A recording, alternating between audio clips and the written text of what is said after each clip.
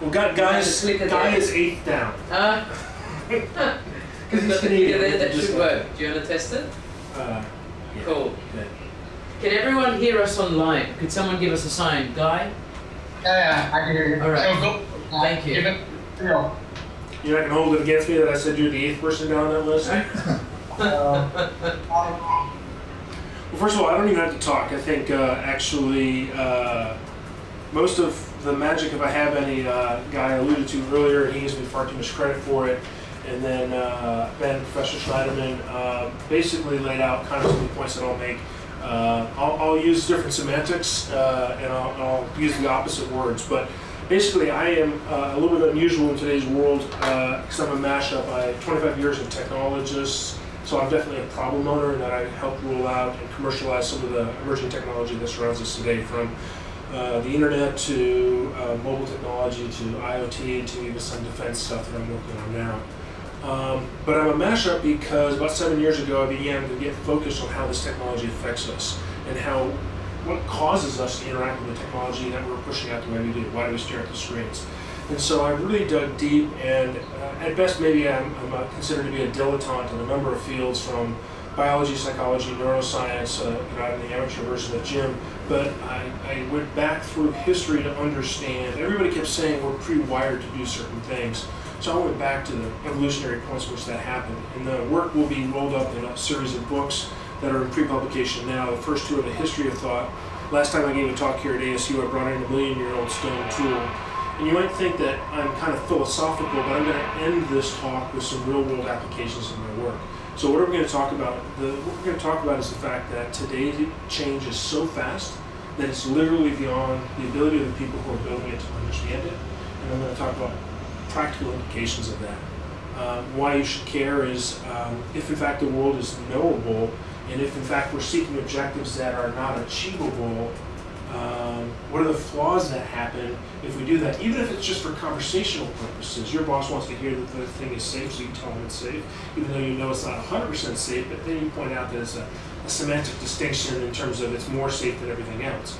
That might just be a conversational thing, but it might uh, hinder your ability to openly discuss and find strategies to move forward. All right, so let's just talk a little bit about. Uh, there's an Irish strategy that when you're in a hurry, walk. So I'm going to go back a little bit, but I'm not going to go back millions of years. I'm going to go back to the basics of this singularity, university, exponential age conversation that we have a lot. Um, first of all, nothing in the history of the galaxy has ever expanded continually in a linear fashion. Um, so you might call into question the fact that when singularity people talk about how robots are going to rule the world in, in 20 or 30 years, um, is that in fact true and what's sustaining it? So let's unpack kind of the pace of change behind technology just so we're all on the same page about is it, is it a curve, is it a straight line, why is it going up forever?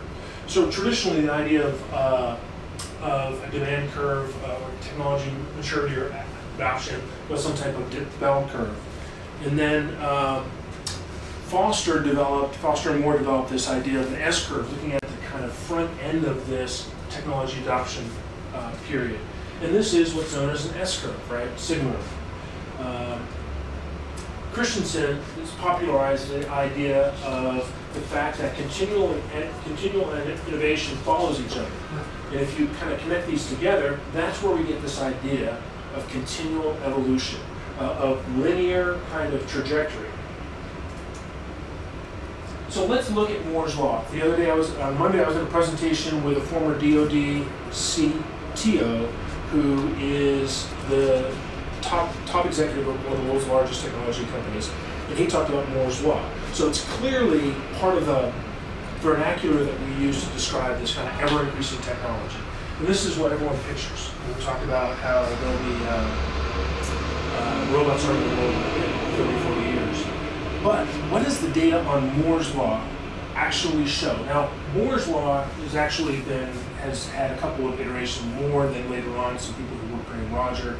Uh, but let's just call it a doubling of chipset cost performance over two years. It's actually bounded. It's slowing down. Moore's law is slowing down, particularly here in the United States because we have some silicon foundry problems that are working. The idea that it's slowing down is normal because in economics we have this thing called bounded by uh, logistics function. A guy by the name of Vaclav Smil wrote a book called Growth where he talks about the S curve is a, bootstrapping that occurs in the early part of, a, a, of an organism or a civilization or a technology's adoption where it eventually runs up against constraints in the logistics of its ecosystem. So that's an S curve. All right, so why does our time seem so chaotic right now? How is it so dizzyingly confusing if in fact Moore's law is slowing down? Well, it's because it's not just Moore's law, it's also Nathan's laws. There's uh, transitions in software that are going on. Uh, first of all, because it's slowing down doesn't mean it's going away. We are getting chipsets out every year that are more powerful than another. So this this S9, Samsung S9 had the has the processing power of the world's top supercomputer in 1996. This uh, S10 has the processing power of the world's top supercomputer in 1997. And the S20, which I'm too poor to afford, has the processing power of the top supercomputer in 1999. Just because the rate of acceleration is slowing down doesn't mean that processing power isn't continuing to move forward. But on top of that is the fact that we also have all these other things going on. Metcalfe's law. As we continue to network more things together, we have exponential network effects from that. And Fuller's law, which ironic was that CIO, that CTO said, well, we have Moore's law, right? All of the world's knowledge on the world today will be doubled in six months. He was conflating Moore's law with uh, Fuller's law. It's not actually Fuller's law, it's called Fuller's uh, knowledge doubling curve. When he wrote it in 1982, he said that knowledge on the planet doubles every 12 to 18 months. And that CIO drastically underestimated the doubling because it's now a day or less, complete amount of data on the world. So when you put all of these things together, you have this technology's rate of change, also along with uh, architectural changes called Bell's law, uh, things like hyperscale computing, uh, computing architectures. You end up with a linear progression within the computing industry, not just Moore's law. And this is what we experience in the Silicon Valley kind of uh, singularity conversation. And when I did my work, which was trying to take technologies around us today and trace them back through history, not just decades, but hundreds and thousands and millions of years, you get a different perspective. But the singularity folks say, you're just telling me what I knew all along. This is what Singularity and Kurzweil and Bostrom have been talking about forever. I'm not the only one, and, and uh, a guy is very kind to give me some credit for some work that I'm going to show later. But the truth is, is people have been kind of, I'm kind of stating the obvious here, I've just deconstructed it a little bit. But technology is not just computing. And when you take the time to unpack technology in a deep history, a big history of technology and understand where it came from, you understand that te technology is not just computing. So the definitions that I use to span from a millennial back to a lemur, consistently in, in, terms of talking about technology, a little bit different than what we used in the earlier presentation. I think Jim had one that was close to me where he uh, defined technology slightly different, but he, I think it's consistent with what I'm doing here, which is the development and diffusion of techniques within and between social groups techniques are the tools and processes you use to achieve a desired outcome. So when you take this approach and you start to unpack what's been going on in human history, you find that we have multiple accelerating positive feedback loops between the human domains. If you improve a chipset and that improves software, which improves medicine, which extends somebody's life, which has implications for them going back to school in their 50s to pursue a different career, there's positive feedback loops here. It's not just a chipset. The, the most important and maybe provocative thing I'll say here is that modern technology now has more forceful impact on humanity than any other technology I've studied, and I've studied pretty much all the major ones, certainly fire language, writing the wheel. I don't want to read my slide. I think that's a, a fairly provocative statement, but if you, think about force as mass times, uh, and force equals mass times acceleration, and we look at it in terms of how quickly things like Twitter have affected political environments relative to how slowly things like the printing press had effects on political environments. I think that's a fair statement. All right, but my point here is not just that technology is going up at a linear rate. it's also going sideways. So if this is a side view of today's environment, what I'm going to show you is a top view. Here you have some human domains, energy, medicine, materials, engineering, manufacturing, agriculture. Again, I'm not going to read it. The point is, is when you make a technology, a computing technology uh, progress, it has a cascade of effects here, and then each of these affects each other. Bottom line is, we're exploding exponentially, not just vertically, but sideways. Really, I, I thought it was kind of hard for people to understand because we're really talking about four dimensions here. But there's some consequences to all this technology. First of all, it's been astronomically positive for humanity. No questions about it. There's a series of books I'd recommend to anybody, but Rosling probably has the most current uh, good book called Factfulness. The reality is, is that GDP, U.S. GDP, has had a 15-fold increase. I'm not going to read the slide, uh, while the rest of the world has followed. But those same kinds of gains have been in energy production, consumption, education. So those domains I had before, I mean, just a single one of them, agriculture. We think that agriculture represents 2% of the U.S. population, and therefore it's no longer as important as when it represented 70% of the U.S. population. In fact, agricultural yield per acre has gone up dramatically. At the same time, pesticide use has plummeted. So the ability to get increased yield out of agriculture, not just in the United States, but in India and China and other places, has solved a lot of the world's problems. But we don't perceive that. Deaths of, of despair in the United States have been going up.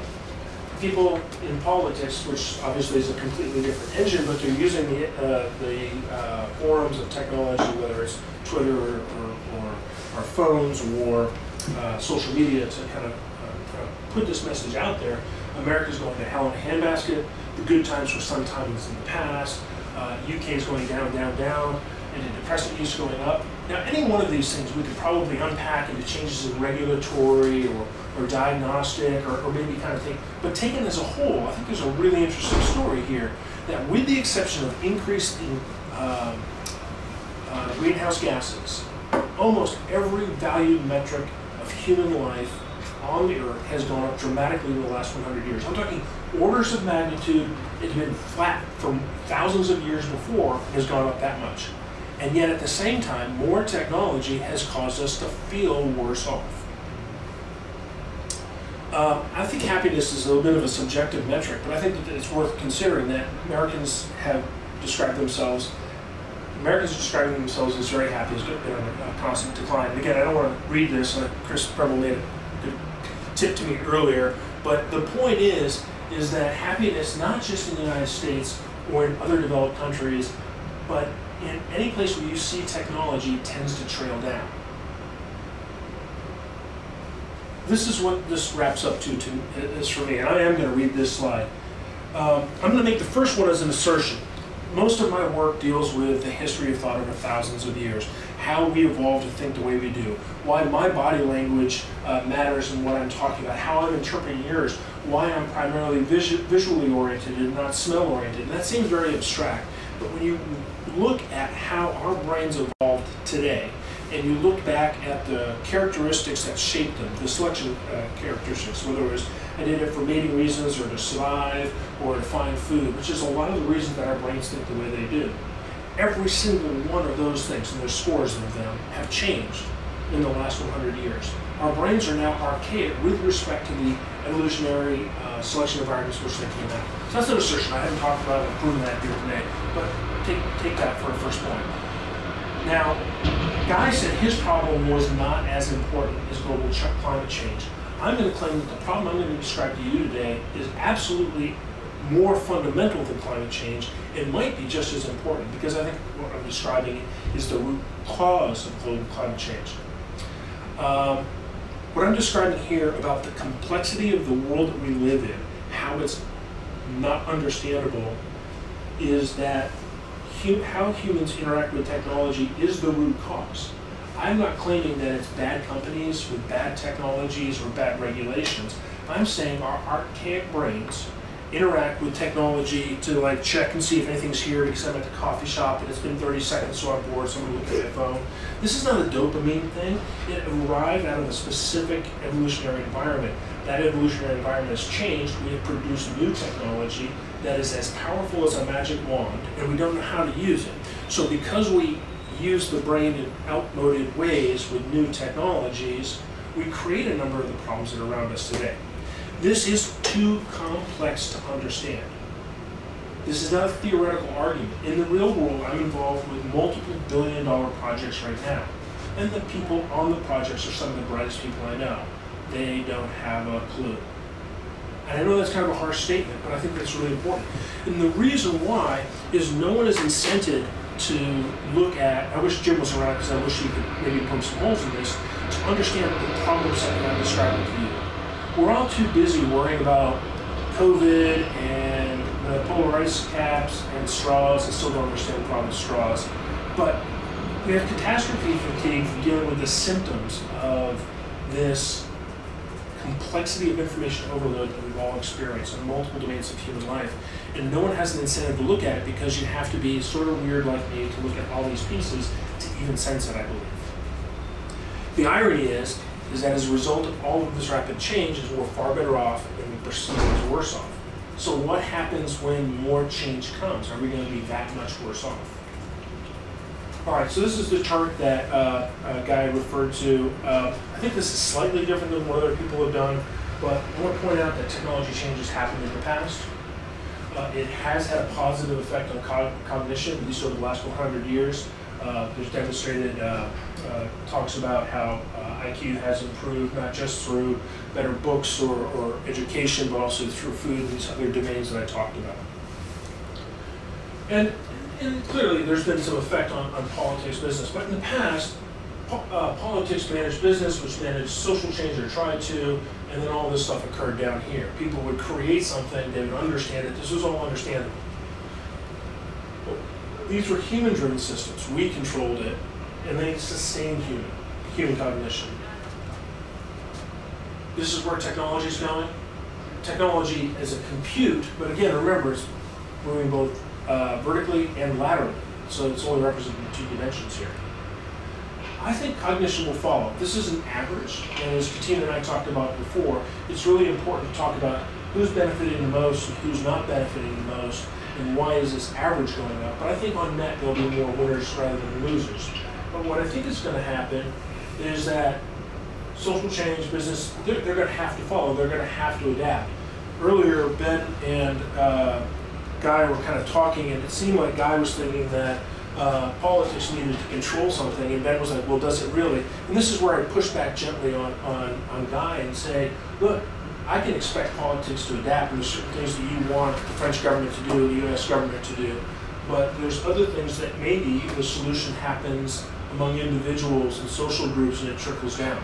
There's some really good uh, books out there. I think New Power kind of categorizes the idea that social change can then inform and, and construct opportunities to inflect up these, these curves. So I think that these are actually uh, curves that you can use when thinking about where we look for the source of a solution to a problem.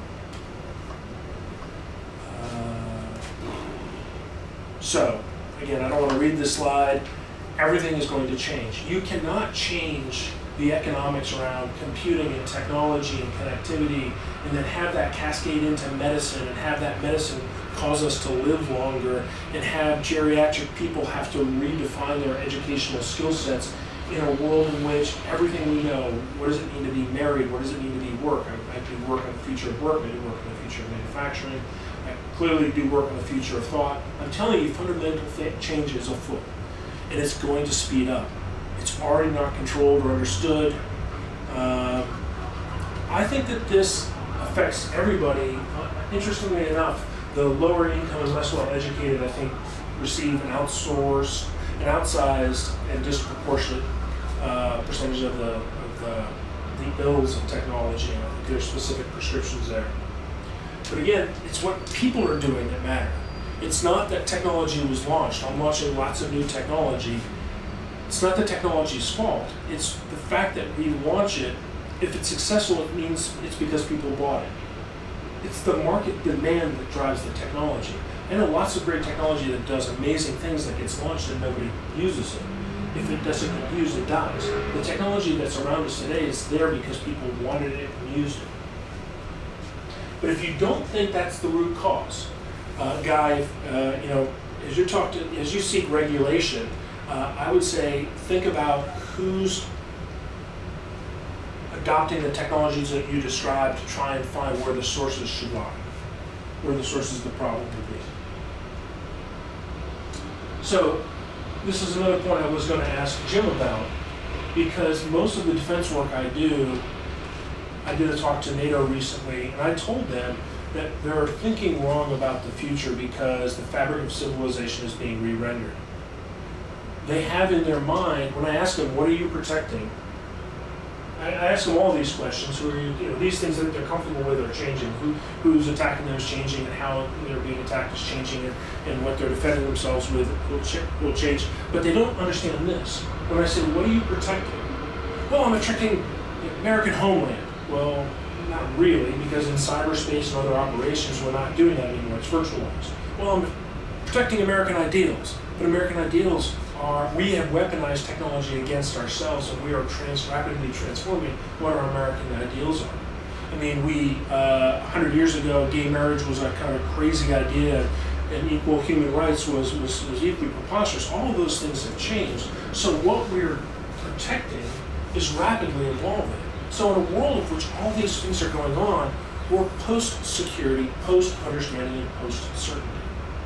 That's the kind of picture I'm trying to paint as a backdrop before I get into some uh, real-world examples. So when I see reliable, safe, trustworthy systems. By the way, I think Ben, uh, if you're still on, uh, you and I traded a, a, note beforehand. I was afraid my points would undermine yours. I, I, think we're on common ground. We're looking at the same coin from both sides, whereas uh, Giordano said with about 20 IQ points over me, Janussi, we're looking at the same thing from both sides. But, but I pause anytime I hear that because someone's saying something is fixed and objective in a world in which it can't possibly be. In books like this, I'm sure we all have these kinds of books on our, our shelf. Uh, blockchain's going to keep our data safe, so I'll, I'll, go there, I'll buy their product because it's safe. Here's legislative legislation that's pending in one of my worlds, uh, 5G. We're going to secure and protect fifth generation networks.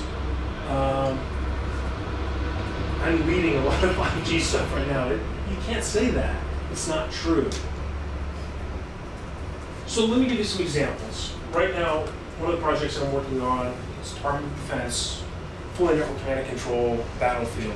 The idea that everything on the battlefield will talk to each other. Now, if you've ever used military radios, you'll realize what a leap that is for the torpedo to be talking to the soldier's rifle, to be talking to that person's, uh, what did you call it, uh, the uh, the black box for the soldier, the fighter. Fight, fight recorder. Fight, fight recorder. The idea that all these things are talking to each other. Now, this problem is immensely complex, but the problem is the people staffed to work on it have 18 month billets where they get up to speed. They have to accomplish certain things by the time they leave.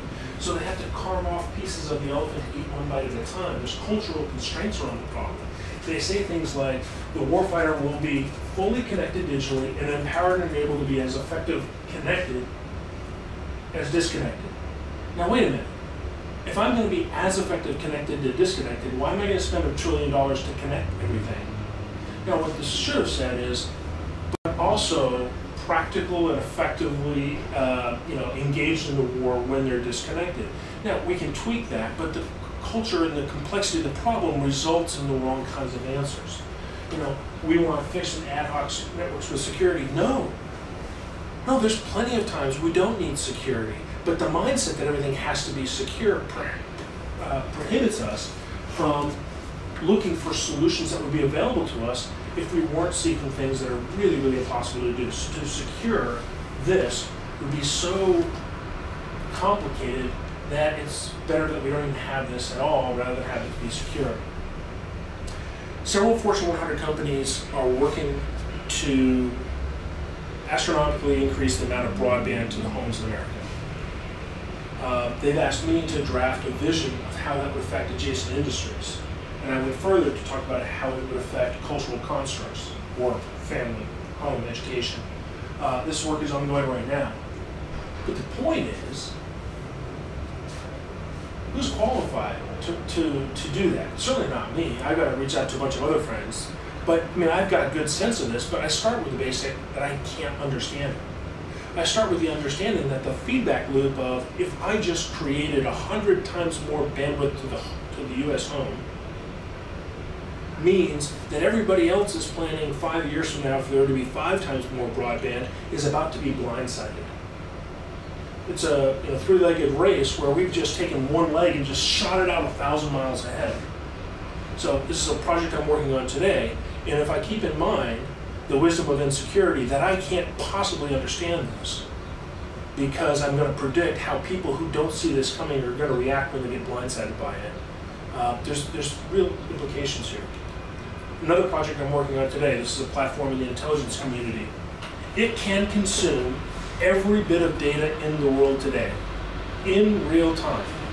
It can consume all social media, all uh, communications, ICT, down to the level, I mean, all the dark web uh, conversations, certainly anything published on the web, down to the level of NOAA weather buoys.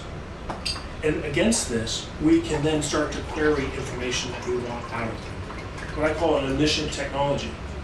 Now let's apply that to the commercial sector. Guy, you're going to love this, right? This is the black box in uh, in Jim's uh, Jim's deck, but this is the black box on godlike scale. So if you were going to apply this outside of the classified uh, environment to commercial, where, where would you go? How would they use it? What would be the unintended consequences of it? This is stuff that I work on today. So you can see how when I say that this is the wisdom of insecurity, if somebody says we're going to use this with any type of certainty, they combine this with the broadband project, right? Last one, 5G globalization.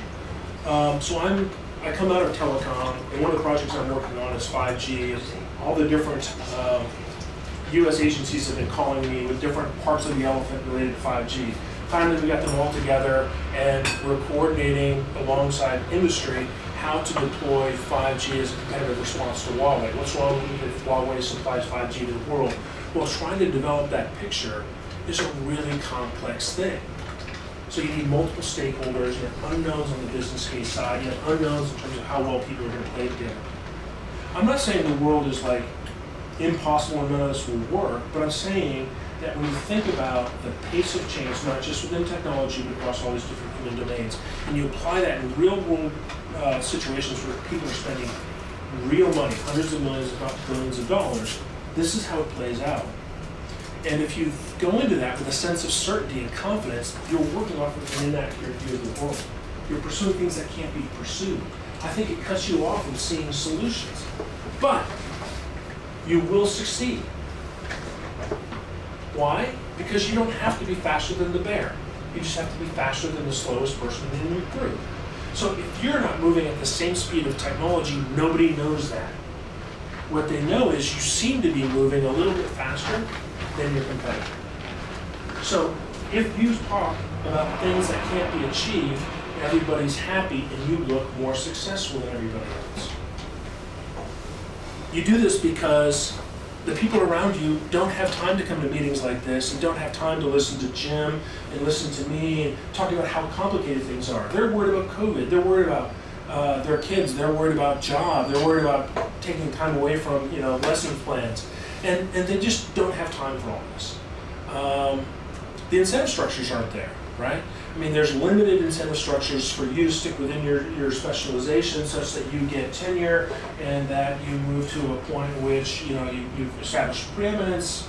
Um, but to work as a generalist, to be talking about the sky is falling, in an area which nobody's willing to hear about, nobody wants you to talk about. I'll give you an example. Artificial intelligence, autonomous cars if somebody said, is this car safe? You can say, yes, it's safe. It's the safest car in the market. Or you could say, this car was extraordinarily safe when we sold it, except for some problems that we patched a month ago over the air, but we don't know about the unintended consequences of that. So that's the reality, but you can't talk like that because customers won't buy that car. Now, if you said this car autonomously has had a thousand times less crashes per driven mile than a regular car. Is a regular car, car driven by me or my teenager safe? No, it's not. Neither are these things. So pursuing safe isn't necessarily the right objective. Um, but the other thing is, is if you start talking about this, you're part of the problem because you're making people stressed and they don't want to hear about stress. They want solutions. Give me the tweet of how I'll solve this. So I'm going to leave you with this, the wisdom of, of insecurity. And this is where I think Ben and I aren't, aren't very far off. I'm not saying he's wrong by saying uh, there will be, uh, I had to write it down. Reliability, safety, and trustworthy. I think he's saying those are aspirational goals and you're moving towards those. And I think he would agree, agree with what I'm basically describing as an empirical approach as opposed to a rational approach. But I think the semantics matter when you start to say, let's not strive for a secure battlefield. Let's strive for an effective battlefield. Let's use information in a complex environment uh, differently, leads to different tactics. So, for example, you don't spend a billion dollars, even if you're the US government. You spend $10 million. You approach things iteratively with MVPs, minimally viable products. You get market feedback, you do sensing. Collaboration. Earlier, somebody was talking about the importance, and it may have been you, uh, Yeah. about uh, diversity. This is where seeking to put yourself in the enemy's shoes, not from a combative perspective, but from a hearts and minds perspective. Why are they willing to die or have their kid die to beat you? Once you start to understand this and put those people on your team, you can create better, more holistic problems than if you think you're red teaming the bad guy. Really understand that. Um, so security and certainty and RST are all worthy, but I look for things like anti-fragile. I put this in here and somebody gave me a hard time. Well, somebody warned me not to say this, but I think COVID-19 is one of the best things that's happened to Americans in a long time. Listen, you know what anti-fragile is? When you get stressed, you're better off. COVID-19, highly viral, very low mortality. All of us are getting a wake-up call that our, you know, ancestors have had many, many times. Stock up, be prepared, you know, wash your hands. I mean, people put culture and society ahead of personal interests for a long time. Now I'm questioning whether or not I don't want to go to the inconvenience of going to Starbucks and I have to make coffee at home. That's a personal interest above collective interest. It's a reframing of the American system, but we're also getting logistics and supply chains. There's going to be a rash of new doors. I guarantee it. When you go out the bathroom, there'll be a door at the bottom, a doorknob, and you just going to click with your foot, and the door's going to open. We're going to be more resilient so that the next time something comes along that's much more, uh, uh, I don't want to say virulent, but higher mortality, uh, we'll have been prepared behaviorally, supply chain, etc. You definitely don't want to be quoted out of context. I know, I know. I, I, but, but, but you have, this is what you have to do when you want to say the world is more complex than we are. I'm basically done, I'll just finish up. Uh, and, and I know that that's kind of a provocative point, but, but this is the point. We have to be humble, we have to be multidisciplinary, we have to be multicultural. We have to say, this is a whole new world. And this is important, and this is where I would kind of reframe the Ben Guy conversation at the end is, I don't want to look at the end user as some helpless victim here. I see the end user as part of the solution. They are the person who knows the most about what's going on, how it affects them. And across a million users, we might find five people doing things right that become the way to inform the solution for the social group, for the for the corporation, and for the the, the, the national body. So the idea that Will a million people agree on the, on the right thing? No, but they are a laboratory from which we can learn. And I think I'm pretty much done.